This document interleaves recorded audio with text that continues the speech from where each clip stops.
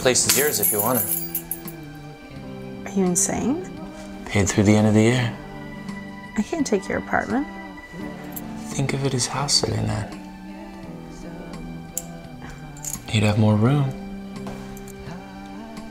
Thanks. Sure you don't want to see the left coast? You should have asked me that before you gave me the sweet apartment could always take it back. I'll fight you to the death for it.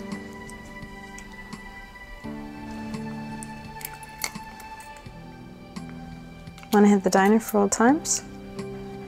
Sure.